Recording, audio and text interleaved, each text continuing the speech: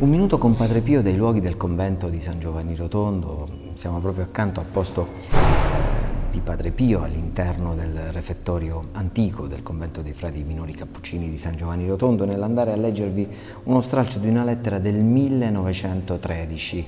In questo periodo eh, il giovane frate minore cappuccino eh, si trovava a Pietrelcina, lo sappiamo, questa strana malattia che non gli permetteva di vivere in convento e quindi lui era costretto, attraverso questa malattia permessa dal Signore, era costretto a vivere eh, a casa, a vivere in famiglia nella sua terra natale. E ehm, c'è una risposta che dà padre eh, Pio, era, che era già sacerdote da circa tre anni, ehm, al suo padre provinciale, nonché eh, padre spirituale, padre Benedetto.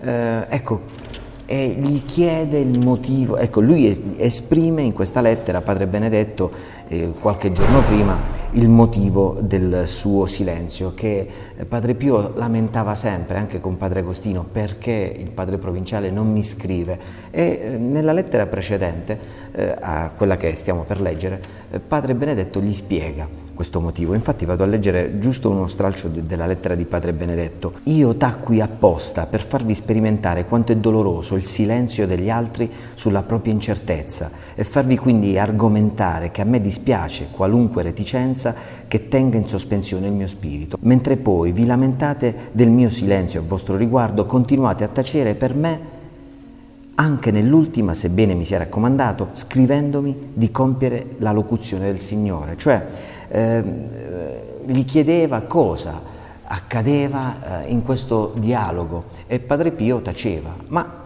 in questa lettera finalmente Padre Pio scrive Per la locuzione del Signore al vostro riguardo non volli riferirvi il resto perché so del male che ehm, avrebbevi arrecato nello spirito, ma già che voi mi ordinaste che l'avessi compiuta, volli fare la prova a riferirvi il resto, ma il Signore che si serve anche di questi cosacci per impedire il male, volle questa volta appunto servisti di costoro per ciò fare. Ne feci la prova varie altre volte e quegli apostati impuri sempre mi hanno violentato. Ne ho mosso lamento a Gesù e questi mi ha severamente aggredito e fortemente mi ha fatto intendere che lui ha dovuto servirsi appunto dei suoi nemici per impedire che i suoi ordini non venissero trasgrediti da questo meschinello. E poiché io, alquanto stizzito, gli ho detto che dovevo obbedire eh, perché era un superiore che mi comandava, lui senza offendersi, punto di questa risposta un po' risentita, mostrandomi un dolce sorriso, lo vuoi? mi ha detto, figliuol mio? Provatici, te ne do licenza, non avrai più violenza dai demoni.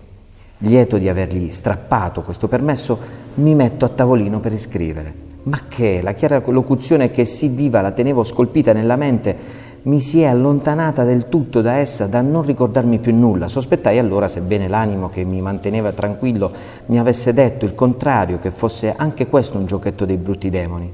Abbandonai il proposito per allora di scrivere, mi alzo, mi alzo e mi metto a passeggiare per la stanza, cosa strana, la locuzione è lì scolpita chiaramente nella mente, mi seguo nuovamente, prendo la penna per iscrivere e il fenomeno si ripete. Esasperato per questo cado in ginocchio dinanzi ad un'immagine del Sacratissimo Cuore di Gesù struggendomi tutto in lacrime e di lamenti col dolce Signore perché aveva permesso a quei cosacci non solo di violentarmi nuovamente, ma ancora di ingannarmi.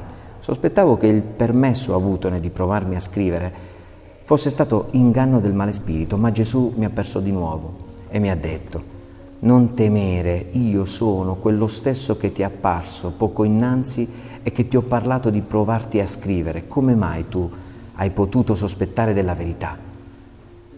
Quando imparerai a distinguere la voce del tuo padre e del tuo sposo, queste poche parole sono state sufficienti a dissipare in me subito ogni timore. L'anima gode una pace indescrivibile.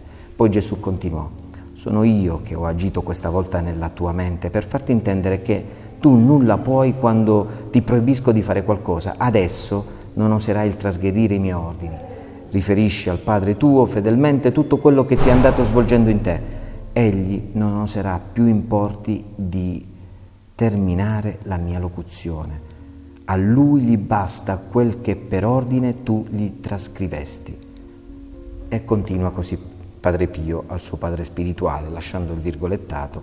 State tranquillo, Padre mio, e calmate le ansie del vostro spirito, poiché tengo a dichiararvi che ho tutti i buoni motivi per credere che siete bene accetto al Signore. Mi avete sommamente afflitto delle vostre paterne, sì, ma assai dure riprensioni. Lo sa il Signore quante lacrime vado spargendo per voi, massime da che vi, ho, vi so afflitto. Non debbo mettervi a pregare per non presentarvi a dolcissimo Gesù. Non ho asceso mai all'altare senza raccomandarvi veramente al Celeste Padre.